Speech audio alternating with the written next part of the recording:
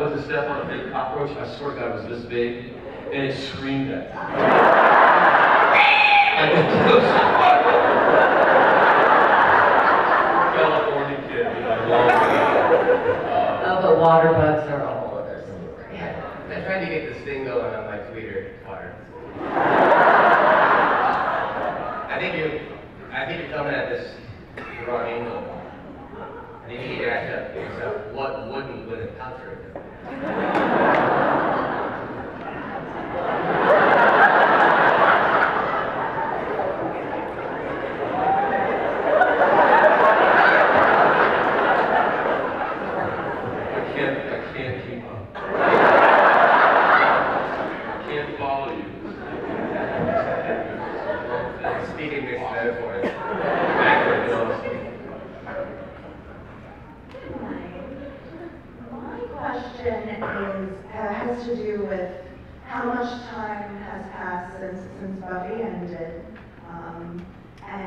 You guys have continued to do these cons and panels, and the fan base is huge. Um, I just wanted to know from each of you what your strangest fan encounter has been at one of these places, because we all know we're kind of drunk and crazy.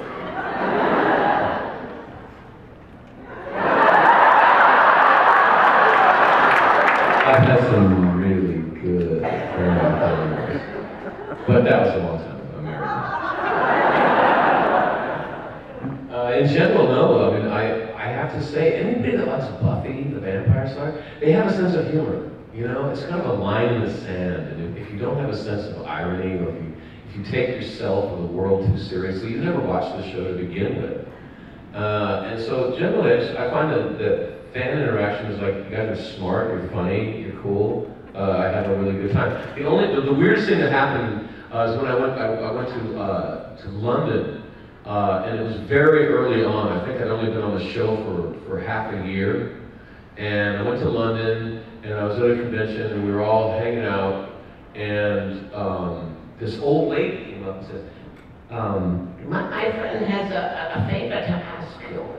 And I was like, yeah, sure, man. And, and the, the friend was like, you know, even older. And she's like, um, turn around. And I was like, cool. And I hear a little uh, a voice,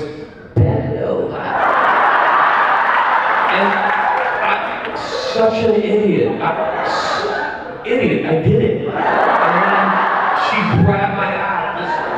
Boom. And, she, and then I hear this word, now clench. And I,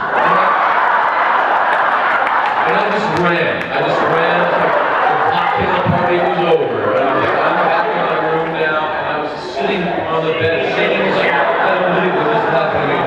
So now I'm careful, man. Because every once in a while, other people do weird things. But uh, in in general, that's, that's really by far the weirdest thing. Nothing even close to that has happened. Uh, but I also probably, m- maybe I'm better at setting boundaries. I've been good. Um, I, I haven't. I think it's maybe my character. You Xander was more of the, the everyday guy. You know, but I was talking to my friends last night about uh, you said you know the and has some irony, which makes me. So Alanis Morissette's song has been ironic. Of course, we all know that nothing in that song is ironic. But this is where the, this is where the mind went yesterday. What if she knew that, right? And the irony is the fact that we're still talking about it 15 years later. Would that be fucking brilliant? That be awesome? It would be if that were true. Yeah, I know, I know. More than like I'm the biggest fan. I've had no really, all my fan experiences have been wonderful, and that sounds like I would have, I mean, I would have weird. I would have, that would have been awesome. Maybe staying in the hotel? My room's right over there, I'll roll you over. I find that the English are the naughtiest. They are. They are. You get kind of like uh, uh, the accent hits you, like like they're like they're called kind of like you're just very oh yes yes. And all of a sudden you're being you know distant. Before you even know it. I think of, I think of the English like Vulcans, like have this veneer of like proper behavior, but underneath is this roiling, passionate thing. Yeah. Yeah. What is it when Vulcans like they're mating and they go crazy? Yeah, that's they're always. The English are always on the pon farr. They're always in the pon farr. Historically, they were sort of the barbarians to the north. Yeah. Yeah, I'm a Saxon. Me too. Yeah. Yeah. Hi, I'm a really young watcher, and as you know, in Buffy there are a lot of allegories or life lessons, especially for a teenager. I was wondering what your favorite allegory or metaphor was to film. Nick? I've always said, you're making love to a 2,000 pound gorilla. Another gorilla says it's over.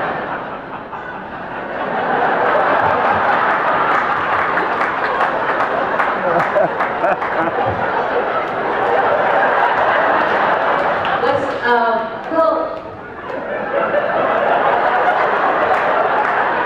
Follow that. Go ahead. Just It's not their life. You know, I don't think, for me, um, the writers on Buffy, every week, what they were being asked to do is to take their worst day, the day that they got or the day that they hurt someone for no good reason, and then slap fangs on top of that and tell the world. Uh, so it was, they, it, it was a sustained act of, of humiliation and bravery for the, for the writers. I mean, truly, they were really bearing their souls to you guys uh, constantly. Uh, and that's what I take away from it. Uh, they would never tell you the specifics. Like they'd come down onto the set and like, you realize what I just told that I did one day? And, and but they would never, you know, you, you'd ask them like, well, what, what really happened? And they'd be like, no. like if you sleep with a guy, he turns evil, like, don't we all know that guy? happens with chicks too. And, and, and chicks with dicks, it also happens.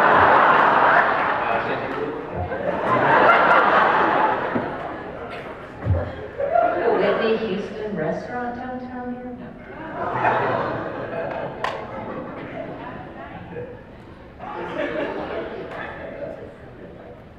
Hey, brother. Christy, do people mistake you for the summer sometimes and dream play along? What was that? Do people in real life sometimes mistake you for the summers and dream play along? I think, what, do people mistake her that she's cosplaying for Buffy, for, for, for, for Buffy's mom? And then, and then pretends that she's not Buffy's mom, act, plays along like she's cosplaying as Buffy's mom? Is that the question? Thanks for.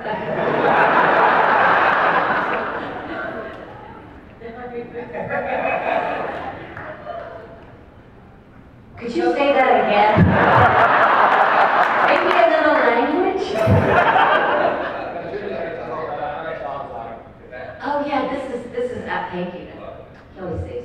Um, my daughter was uh, living in Paris for a year, and um, she went to a bar downtown Paris, and she met a bunch of kids who were like around 19, who were at this bar from out in the suburbs of Paris.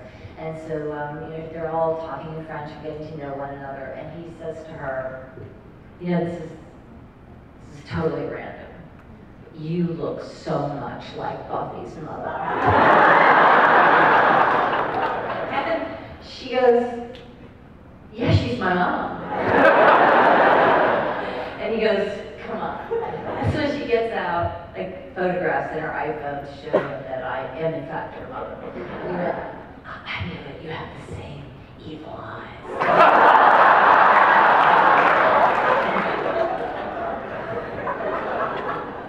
I. That might have gotten lost in translation.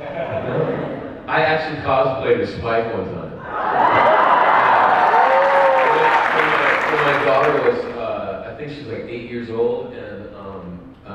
She she, wanted me to take her trick or treating. And that day, um, we happened to be doing Spike and Vamp Fix. And I thought, oh, this is perfect. I'm gonna go as Spike tonight. So I kept the costume. And it's like, you know, like they released us and I just got in the car as Spike.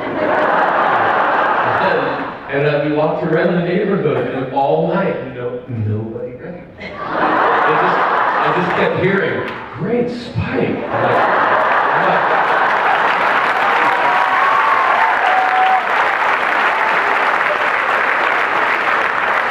I remember when I was there, I, I mean, I danced out once, but uh, typically Xander was beaten up and bloodied a lot. And there were just times where it was probably just laziness, I just wanted to go home, but I would love to kind of keep on, like when I had the worst battering and bruising and bloody stuff, I would keep my makeup on and then like, like drive through a drive.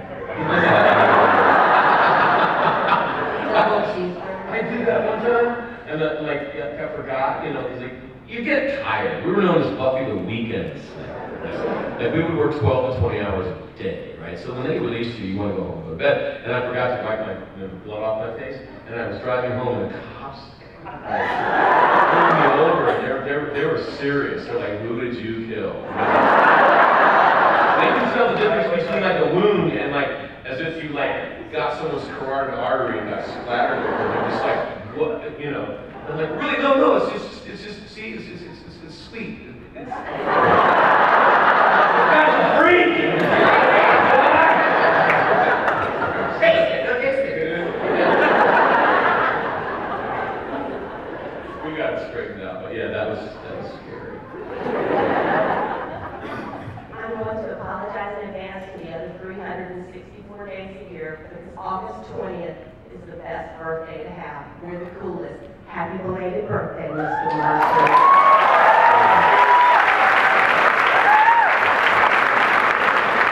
Leos walk. They say that they say that Leos that, that we have kind of a big ego about being Leos, but your planet is the sun. It's hard not to do a little bit proud. It's actually technically a big gas ball.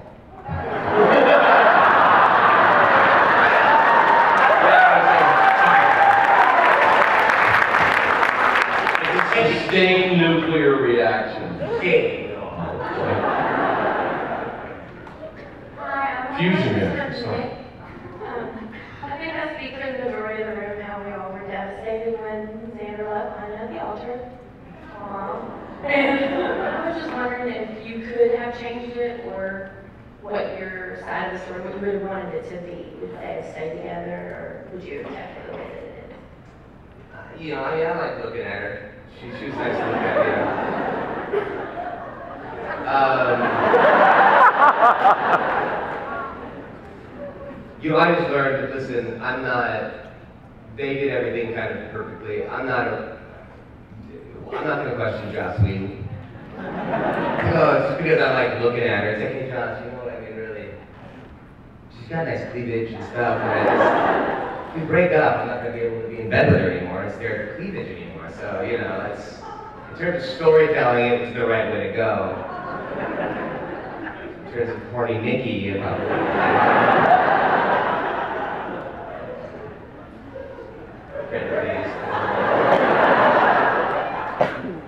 Hi guys, uh, thanks for coming to the Dragon Con tonight. Um,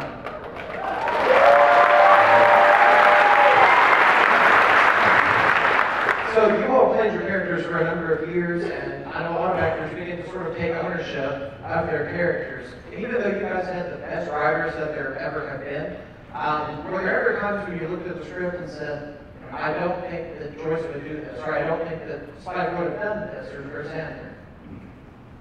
I, I to this day the, it was horrible telling Buffy to leave the house because that just felt so totally out of character for a mother to do that uh, under any circumstances. And that, I just wish that they found a different way because that just wasn't right for me.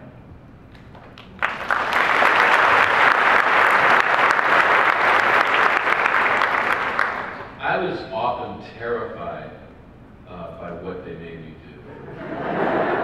Um, I, I realized this season, I think it was six, that they, that, that I had to do to whoever they told me to do it, whenever they told me to do it, wear or not wear, whatever they told me to not wear. And I got, I got seriously terrified. It was, it, it started to become hard to come to work. It started to get hard to get out of bed. Because usually, like on a TV show, once you film the pilot, you know what you're basically going to be doing for the next seven years. Because most television shows are boring, and most television shows do the same thing over and over and over again. So that, that's, that's there's a safety in that. With a film, you can read it before you sign the contract and say, okay, I can do that, or I want to do that, or I don't want to do that, I pass. But with Joss Whedon, there's no rules at all, and you have no idea what you're going to be asked to do. And it's it, artistically, I mean, in hindsight, I'm like, man, that was awesome. I'm very proud of it. In the moment, I was terrified, truly terrified. But one of my, one of my favorite things was um, we would often have directors come in that had never seen the show before, and so they. I remember you were wounded. You, you were wounded over in Buffy's house, and the, everyone was crowded around you, and like, oh, Xander, are you okay? Right? And I'm over in the corner just going, yeah. And the director comes up to me and goes, hey, man, you know, Xander is hurt. And you're, you're a regular, he's a regular. You gotta go care about him. And I'm like, no, it's okay. Because I love you, man. I really do as a human being, but the characters will know. Oh, yeah, no, Like, no, Buffy's important. There's her sister, I suppose, but other than that, no.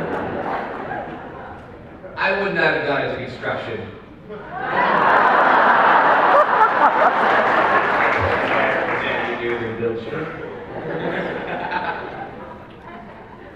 Hi, um, I was just wondering. And yellow is in my color wheel.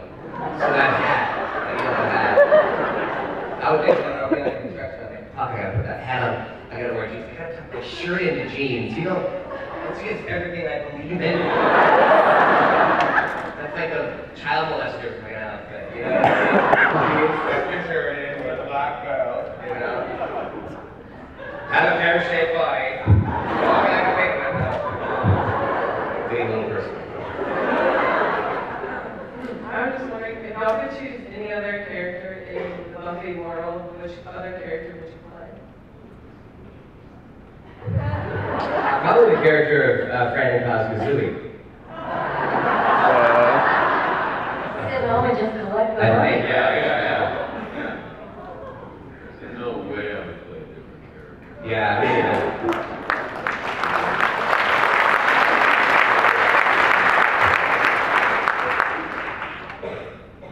Oh, maybe Dawn. Gone in the comics.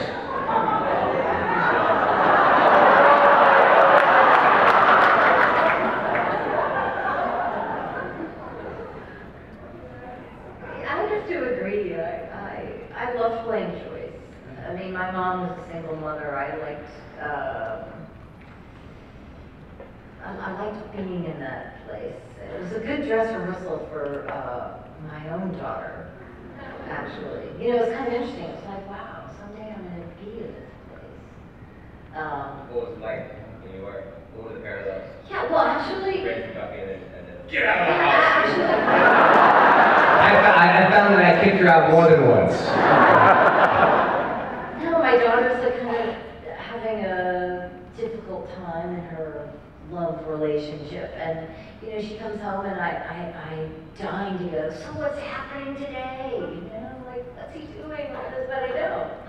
I just like wait for her to talk to me about it. You like her? Sometimes I'm, he's a nice kid. But I, but I wait, you know, I don't, uh, I don't ask.